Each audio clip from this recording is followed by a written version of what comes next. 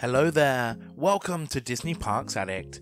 Today, we'll be taking a look at all the rides and attractions found at Legoland Japan for 2023. Opening in 2017, this was the second Legoland to open in Asia after Legoland Malaysia and the eighth worldwide. It is located in Nagoya, the fourth biggest city in Japan, and also includes a Legoland hotel and a sea life aquarium.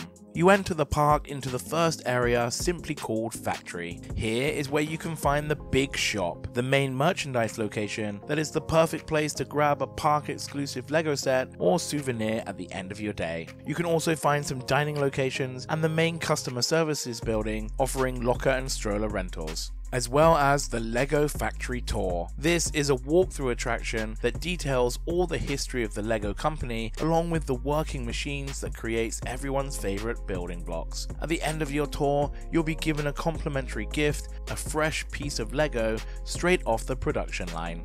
The next land, Bricktopia, takes up most of the front section of the park and includes exciting attractions for all ages as well as some great building experiences. First up is Imagination Celebration, a teacup style ride that is great fun for all the family. You can choose to spin as fast as you want in your Cup sweet ride car or just enjoy a nice relaxing ride. Next is Cat Cloud Busters, where you will need to work hard to hoist up the tower towards the cat clouds before enjoying a relaxing free fall back to Earth. You can have some great fun at the Play Center that includes four exciting activities. On the ground floor is Build and Test, a place where you can test your different LEGO creations. Build and race your very own LEGO car, test your skyscraper against an earthquake, or see how your models fly through the air with many more exciting challenges. And next door in Rebuild the World, a place for guests for all ages to build, unbuild, and rebuild the world of their dreams. Let your imaginations run wild as you help to create a magical wonderland.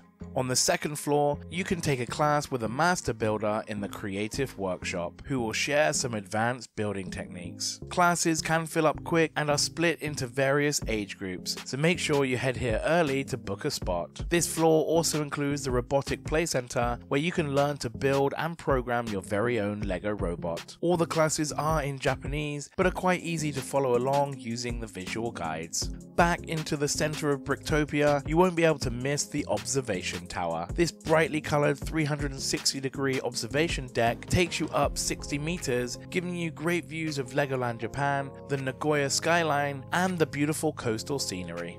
In front of the tower is Brick Party, a fun carousel ride that doesn't feature the regular horses. You can choose from a selection of LEGO and Duplo creations, including lots of different animals and vehicles, making this perfect for everyone to enjoy the younger guests will love the Duplo Valley, a fully covered outdoor playground with lots of play features created with life-size Duplo blocks and characters. They can also take a ride on the Duplo Express, the fun train ride that is also decorated and created using giant Duplo blocks. Bricktopia also includes the fun show LEGO Ninjago Live. This amazing show features spectacular puppetry and awesome 4D projection mapping effects that really brings the Ninjago world to life. The show is in Japanese, but it's definitely worth a watch for all the amazing scenery and puppets. As with all my guides, I will head around the park clockwise, which takes us to the next land, Pirate Shores. You will first come to Anchors Away, which is a pirate ship that can spin in both directions while swaying along the U-shaped track. Luckily, this attraction is not water based, so can be enjoyed throughout the year. The main attraction here is Splash Battle, where you will need to navigate through pirate infested waters. You will get wet on this attraction, as each seat comes with its very own water cannon, which allows you to shoot at the various targets along the way and other riders. And non riders can also take part by using the various cannons that surround this fun attraction. Nearby, young pirates can climb aboard a fun playship in the Castaway Camp. It features rope bridges, slides, and climbing nets spread over the upper and lower decks. This is great fun for children of all ages. We now move on to the next land, LEGO Ninjago World. Here you can learn the ways of Spinjitzu and become a fellow ninja by trying all of the activities within this amazing land. You can try out your skills on Cole's rock climbing wall and Jay's lightning drill before having a ride on the three attractions. Lloyd Spinjitzu Spinners gives you the choice of experience. You can hold the button to completely send your car into a 360 degree vertical spin, or simply enjoy a nice relaxing ride spinning around this exciting attraction. Next is Kai's Skymaster, another spinning attraction that allows you to shoot into the sky or stay close to the ground. All riders have a laser gun giving you the chance to shoot at all the various targets around the attraction and other ride vehicles. And the final attraction is Flying Ninjago, the most thrilling ride of them all. This is a training device for riding your very own dragon. Again, riders have a choice of how thrilling the experience will be, as you will be able to control how your seat spins as you fly around. You can choose to do as many barrel rolls as you please, or simply enjoy the attraction without any spinning. If you're enjoying the guide so far, don't forget to hit the like button, as it helps us to spread the video to new viewers.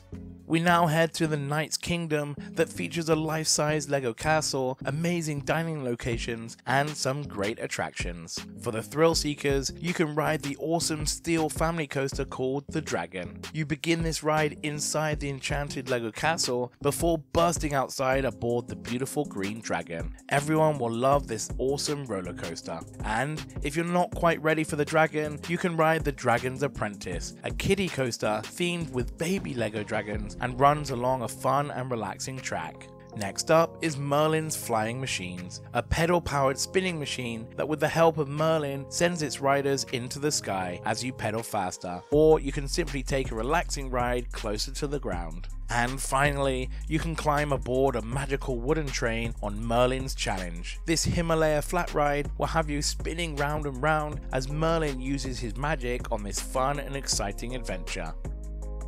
We now move on to one of the largest lands in the park, LEGO City. Let the kids become grown-ups with all the fun activities it has to offer. You will first come to the Rescue Academy. You and your team will need to take control of a fire truck as you race to put out the fire in this fun competitive team attraction that is great for all the family. You can also find the Palace Cinema that plays an original awesome 4D LEGO film which includes some amazing special effects like wind and rain. The showtimes rotate between various LEGO 4D films, so make sure you grab a map as you enter the park for all the up to date showtimes. Next door at the Police Building Experience, you can join in and build the amazing LEGO city and help the LEGO police to find all the hidden bad guys scattered around this fun build. Next up is Driving School, where younger riders can transform into a police officer, firefighter, taxi driver, or a citizen of LEGO City and traverse the many roads on this exciting course. It's open to children between the ages of 6 and 13, and you can even get your very own Legoland driving license in the nearby store. And even younger riders that are between 3 and 5 can also join in the fun at the Junior Driving School, a miniature version of the previous attraction. You can enjoy another building experience at the Rainbow Design Studio. Here you can try building with LEGO friends and LEGO dots, or simply relax by reading the various books on offer. You can take flight at the city airport, where you can ride your very own colourful Duplo inspired planes. Choose how high or low you wish to fly, making it perfect for all aspiring young pilots. Opposite is Coast Guard HQ, which gives you the chance to captain your very own LEGO themed boat and test your navigating skills on the calm waters of the LEGO City Lake. And on its own private island in the middle of the lake is the wharf. This is where younger guests can climb, explore, and play above or below deck on this fun themed outdoor playground. Also, during the summer months, you can enjoy the LEGO City Beach Party, a splash pad complete with plenty of slides, water cannons, and lots of water features, making it the perfect way to cool down in the hot weather. Although this experience is free for everyone, you will need to make a reservation before entering the attraction. You can also try out the Build a Boat experience, where you will need to design and build your own LEGO boat and then try it out on this exciting water course against other builders. The next area is simply named Adventure and has a mixed theme of 1920s Egypt and water exploration. First up is Cargo Ace, the flying adventure ride that gives young pilots the chance to soar through the air on one of the eight special LEGO planes. In the secret chamber of Amset Ra, you will enter a world of ancient ruins filled with the hieroglyphics in this LEGO adventure themed building area. Parents can take a load off and relax in the special seated area. Next door is the Lost Kingdom Adventure. Take part in this fun shooting dark ride that will take you through some tombs as you use your lasers against Lego mummies, skeletons, and other spooky foes. This is a great attraction to compete against your family and friends to see who can get the highest score. Kids will love Pharaoh's Revenge, the fully covered outdoor interactive play area that gives you the chance to climb and explore, as well as shooting soft foam balls at your enemies. You can also try Beetle Bounce, the dual junior drop tower ride that will launch riders into the air before returning back to the adventure. For the water exploration section of the land, you will love the submarine adventure. Here is where you can board a real submarine as you submerge into a huge water tank filled with LEGO decorations and a wide selection of beautiful sea creatures.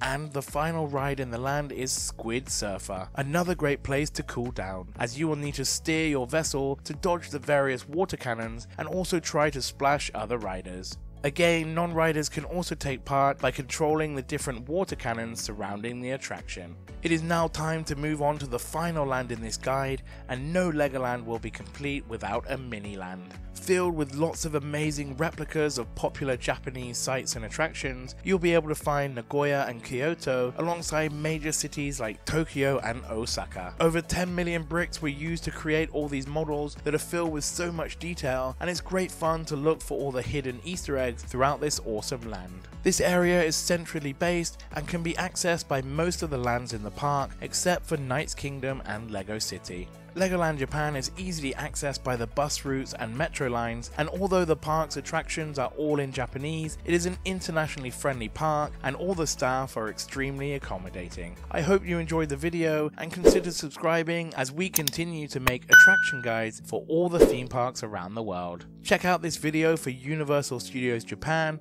and I'll see you next time on Disney Parks Addict.